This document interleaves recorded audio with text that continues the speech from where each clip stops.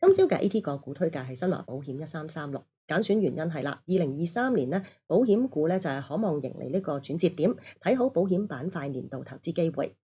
房地產債務風險下降啦，經濟改善有利呢個險企嘅投資、養老金業務發展等等噶，推動咧保險業咧嗰個保險股嘅盈利復甦，股份可以留意新华保險。新华保險咧涉及房地產相關嘅不動產風險敏感度較高啦，預料最能夠受惠咧房地產市場嘅改善。